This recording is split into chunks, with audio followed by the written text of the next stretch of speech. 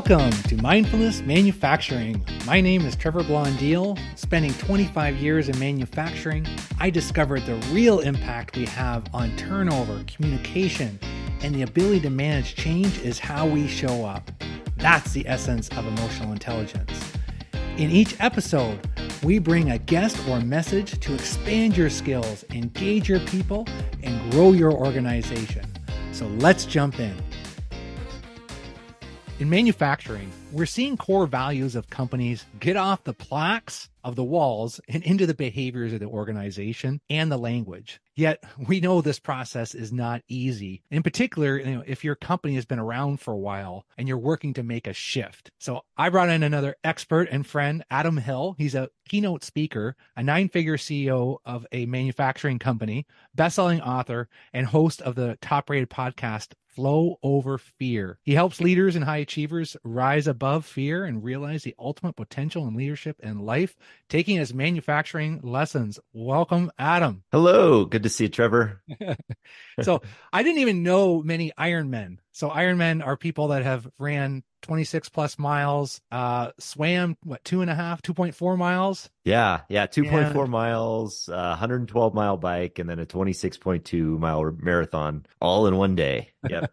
so I go back to episode 109. I had Stephen Pivnik on here, who you and I and Stephen all kind of met together, and all of a sudden I'm meeting all these Ironmen and also CEOs of manufacturing plant. So who else ever to have on the podcast? Not that I've done an Ironman. I do like to exercise every day, and uh, and and your whole story uh, is just fascinating. And I've, I've read your book, Adam, and the fact that you know you did this Ironman um, after getting sober. How many years sober now? I'm 12 years sober now. Back in January, yeah. Congratulations. Thank you and that is amazing. And watching and working with uh, with my son, who you've heard his story, and uh, mm-hmm. on February 26th, he was three years sober. That's so fantastic. Uh, I, I think when you're, you know, I haven't gone through what you've gone through, but I can just living vicariously through my son Dyson. Definitely have a admiration for you, Adam, and, and everything that you you've done, and and how you how you're a good great example for others. Thank you, and congrats to your son. That's it's an amazing achievement. I, yeah, I mean, having come from that background and knowing that you know that that that you there's a time where you feel hopeless in life, where there's no where you feel like there's no opportunity or no way forward for you at that mm-hmm. moment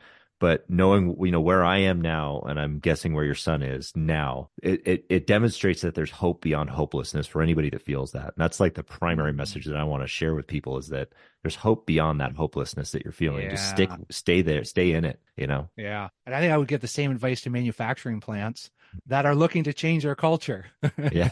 you know, we and and you and I got into the side discussion. I said, "Man, I got to talk to you about this on the podcast. I mean, you've got you've got the credibility because you've been in this family business for over 100 years. Well, not you haven't been alive for it all, but you you're attached to it. And and you started talking about core values and sacred cows, and I was like, "Oh, tell me more." So let, let's let's start with that. Yeah, absolutely. So I, I I believe that you know companies thrive on core values.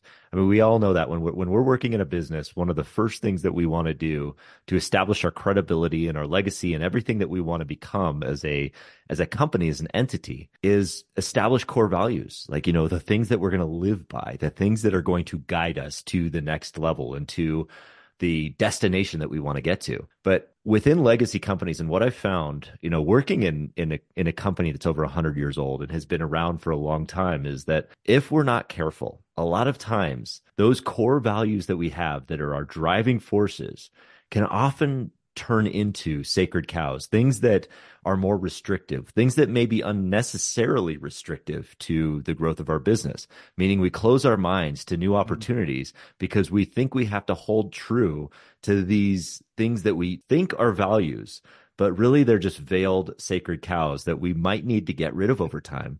and I and I and I believe that we just have to be as we continue to build our legacy, we have to be fluid and nimble enough to really ask ourselves those questions. Are we really living true to our core values, or is this becoming a sacred cow that we need to address? Adam, you're a wonderful storyteller. I've heard you tell stories, and you know that's how we learn. So, as much as you can share with the audience, so what have you learned through your company? Like, what what was this? How did how did you make this change or recognize this? Yeah, so when I when I first entered into the role, so I entered in the company 20 years ago, and you know, working for a family business, um, a family manufacturing business that has, has existed for generations. I grew up in this business, so I grew up seeing my dad, seeing, you know, my family members, my siblings go into the business who are all, you know, older than I am. And, uh, and so it became a part of my, my psyche growing up. It became a part in, entrenched in my, you know, in my, uh, in my soul, like what, how this company ran. And I, you know, remember just the, seeing the good things that were coming from it because you know as a kid you don't you don't really hear a lot of the i mean you hear like some of the minor complaints or anything like that but you get kind of shielded from like the real challenges that are faced in in the company right um so i grew up hearing like a lot of this really good stuff that was happening and all of the greatness that came from mm-hmm. hill brothers and and, and our company that that we um where we uh, uh and and what we were what we were doing. And so when I entered into the company, um, you know, at a low level and and working in, I became sort of exposed to what our core values were, and and those core values were really that we took care of people, that we that right. we were caring and compassionate, you know, that we uh, um, that we were safety centered. We were really you know sa- focused on safety, focused on service, and ultimately that part of that legacy was you know was founded on on big dreams but i also found like over time as i as i as i looked into it there were a lot of a lot of those sacred cows too that were like you know we'll well, we have to hold on to this particular ideal. Like we have to keep, you know, maybe these certain people employed because they're family members or or oh. or they're or they're oh. this, or we uh, or we have to continue on in this line of business because it supports one of the founders' visions for this type of business that's not maybe not making us money or maybe it's a little yeah. risky and so we learn about that and then you know younger generation starts asking why yeah. and the response we often get is what? I mean, I think we all know this from any legacy business. That's the way we've always done yeah, it, right? It's not broken. Don't. yeah, it's not.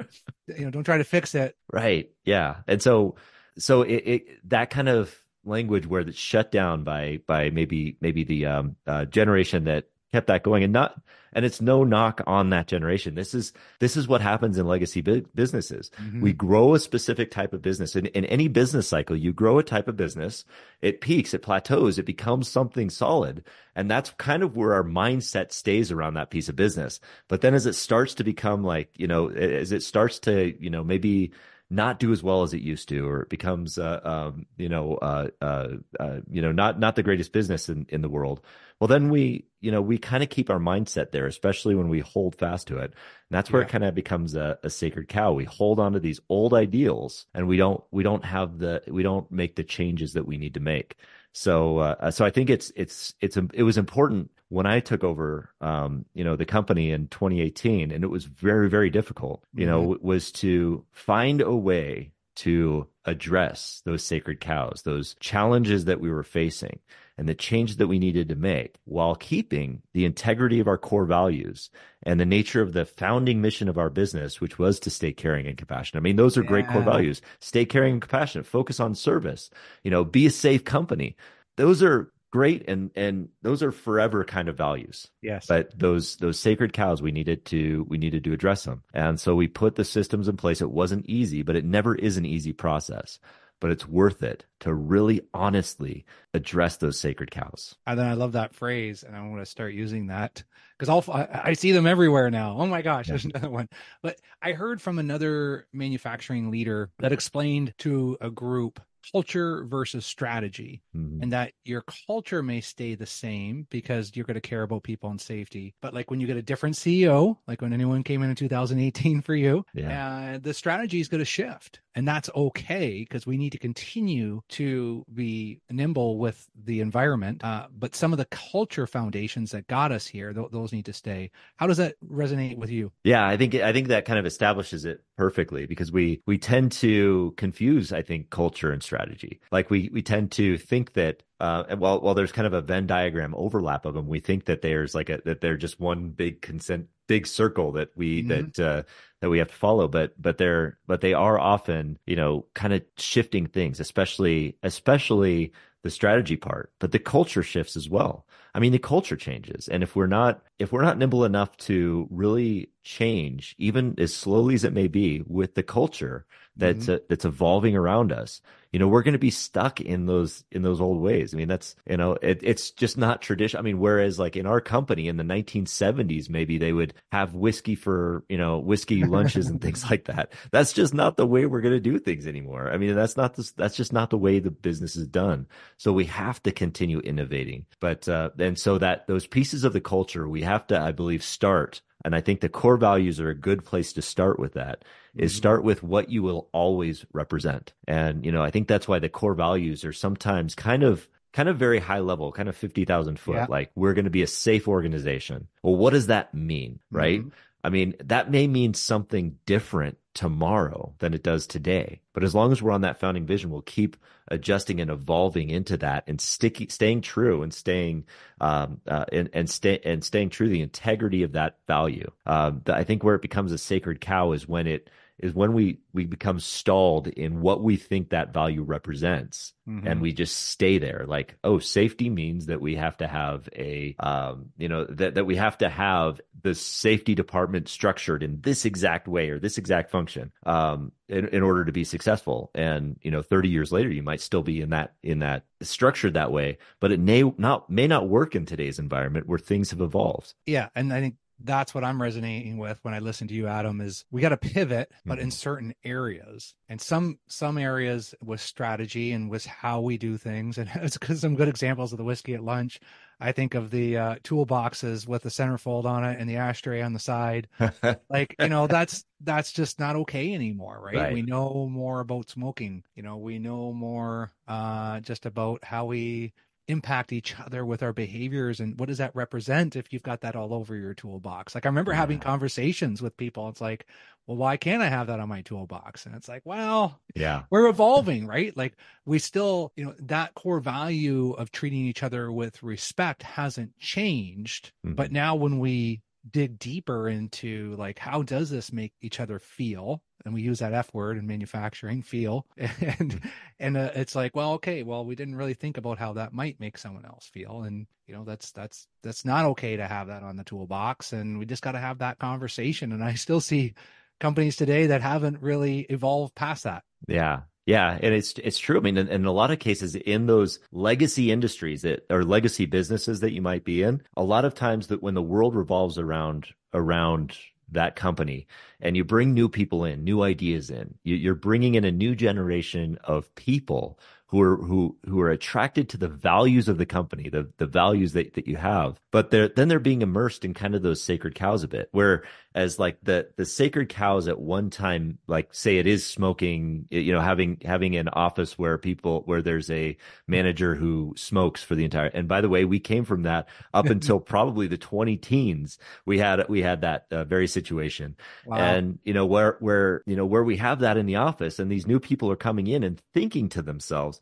how is that still allowed? Yeah. And they're not really empowered to say anything about it because it's been that way for 50, 60 years, right? So that's kind of that culture is there's this silent majority that comes in that's thinking this isn't right. Mm-hmm. They're not empowered to say that. And they're not empowered to speak up about it and share their ideas and say that things have changed because they might offend that one person who's been here for a very long time or a very uh, and so that's kind of where that conversation i think needs to shift and we have to create a safe place for that healthy conflict to arise so how about this saying of this just cracks me up because it's like, well, that's that's just how Trevor is. Like he's just right. he's just like that, right? Is that a sacred yeah. cow? Oh, absolutely. Yeah, I mean, imagine the trouble that can get you into, it, depending on the nature of the question or where where that's coming from.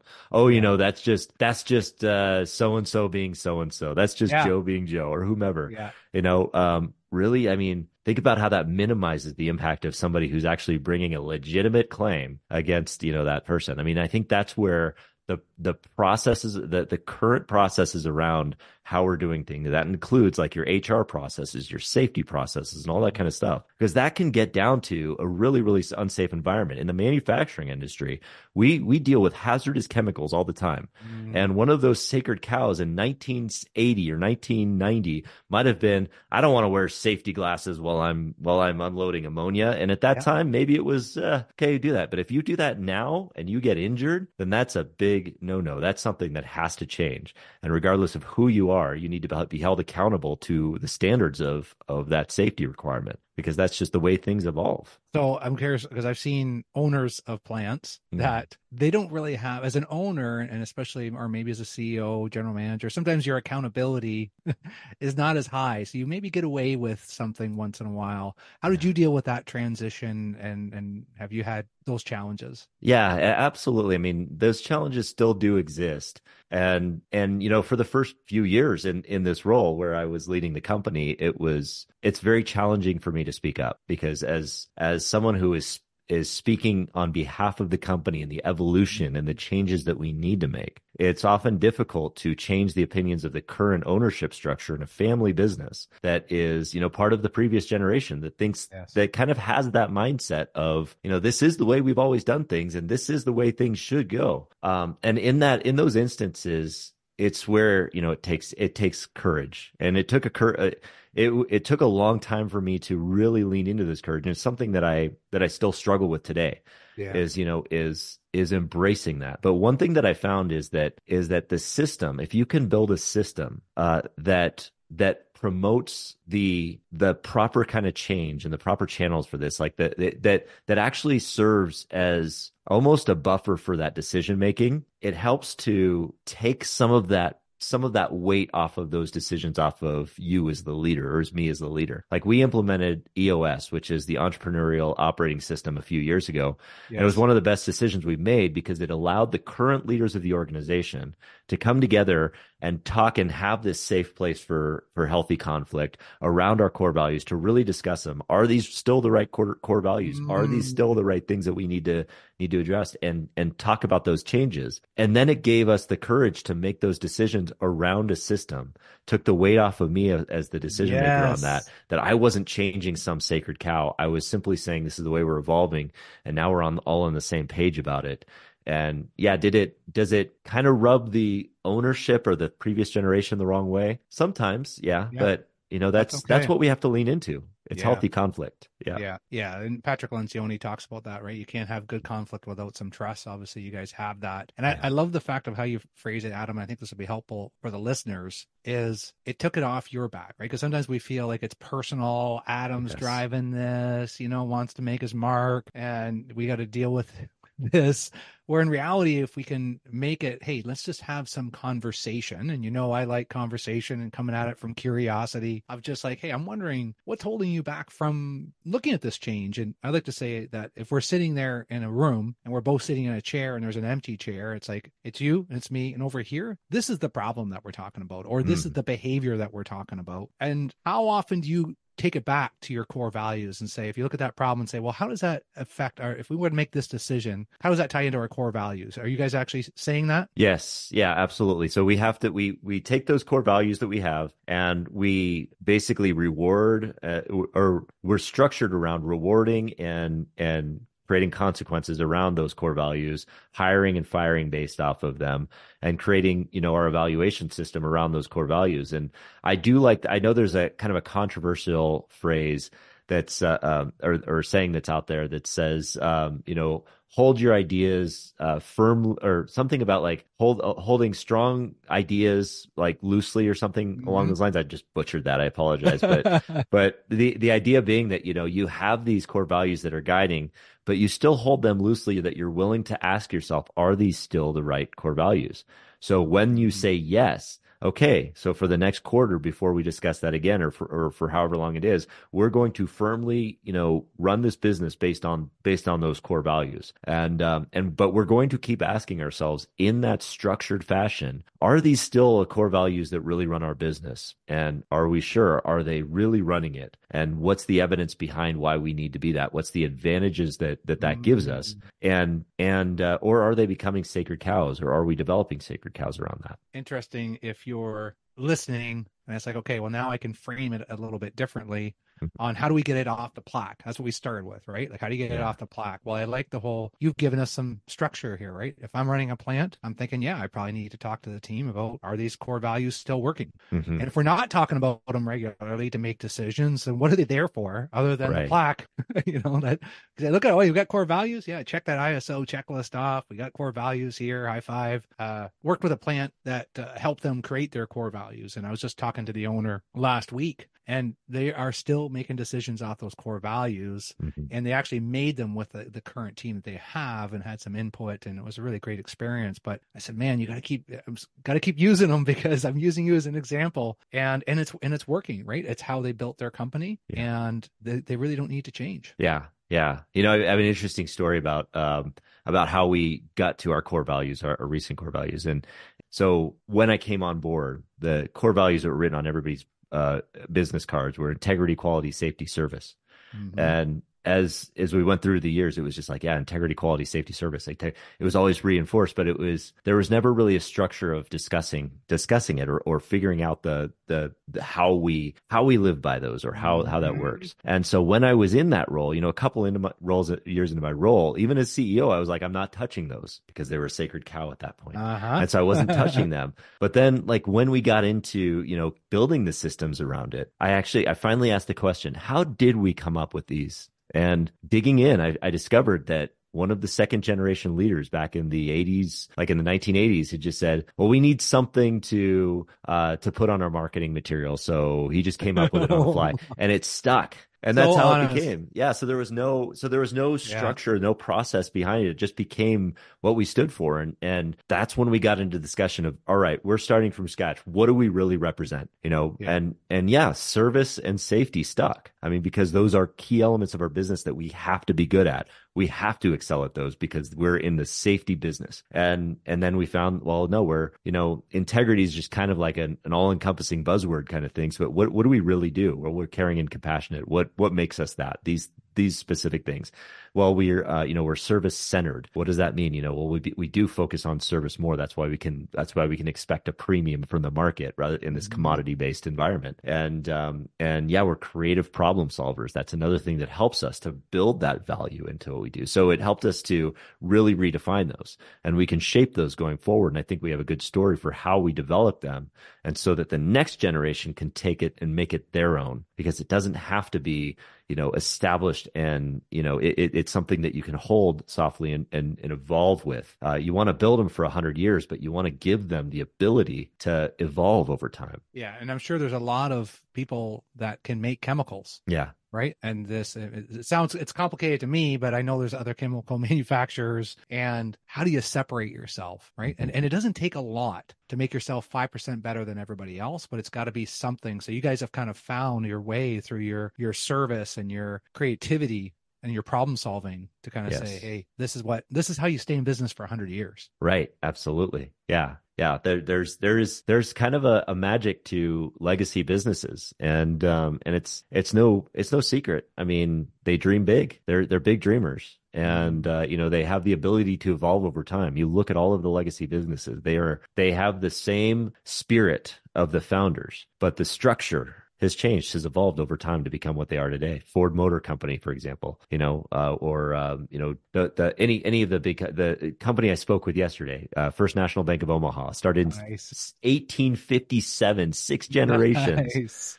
and um, and they still have that same spirit of service and dreaming big and mm. helping their communities and you could see it in just in the spirit that they are that's where core values come from it's in the spirit those sacred cows are more on the surface the scary things we just don't want to touch the untouchable yeah. stuff the conflict that we want to avoid mm. you know you mm. have to go into that dark forest from time to time and you're right it is the conflict and we need something safe that newer em- employees or newer members of the organization can have have a conversation and say, "Oh, that's interesting. You see that mm-hmm. because you just went through what our core values are and what they look like, so you can identify them." Mm-hmm. And then mm-hmm. this is how we discuss it. So when we say, "Hey, uh, the way Adam's kind of rolling this out, I don't like it," well, mm-hmm. that that's not helpful. that's an opinion, and we know what those are like. But if you can say, "Hey, you know, when you think about the core value of this and the way that Adam just rolled that out, I, am a little, I want to understand that better because I, I don't see the correlation." And then it's like, "Oh, great, let's have a conversation." And then that that may provide a little bit of conflict, but now you're kind of separated, right? We're we're conflicting on a thought process, and maybe I can learn something from you. Yeah,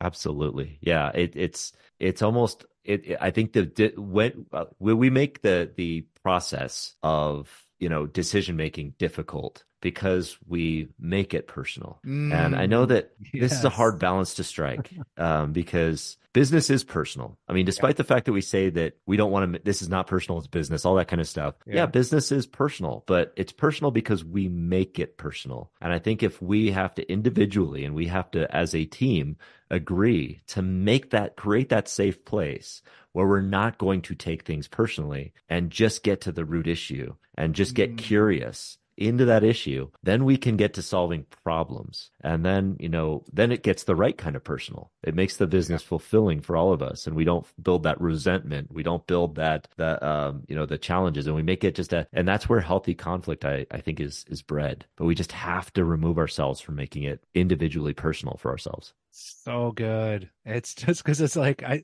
if I'm a listener, I'm sure you're feeling what I'm feeling as Adam's talking, which is like, oh, I had that this week. I got some feedback about a speaking presentation from a few years ago. And it was like, okay, the ego is just soaking that in, right? And it's like, oh, but that was a Trevor from three years ago. And I got to accept where I'm at now. And, you know, when you get in those conflicts and it starts taking it personally, and it's really got to kind of separate that from like, that's not my identity and mm-hmm. and this problem at your manufacturing plant is not your identity. Yeah. And and if we can just kind of shift it the way you said adam when we hear adam hill what do you want the listeners to talk about today when they walk into the plant and they heard your voice? Yeah i, I want them to get curious. I think curiosity is a genuine curiosity not curiosity out of spite. There's a big mm-hmm. difference. But i think that curiosity is so important to driving us to the core issues that we need to solve and that we might be avoiding and turning into sacred cows. Be have the courage to be curious. And to those leaders that might be hearing those questions, have the open mindedness to listen to them and you know embrace the the journey to that unhealth to that healthy conflict that might drive to the solution you want to find curiosity i love it we come with that attitude we can connect the top to the shop and uh, we we say it in such a way that is okay, right? When you come at it, like I love what you said with the curiosity. Mm-hmm. Uh, and hey, that's how we learn. And I learned from you today, Adam. Thanks so much for coming on, brother. Trevor, my honor, man. Thanks, buddy. Hey, folks, appreciate you taking the time to join us today. If you enjoyed this episode, share it with someone. Haven't subscribed yet? Do it now. Remember, if you want results, the key is increasing your awareness of how you show up.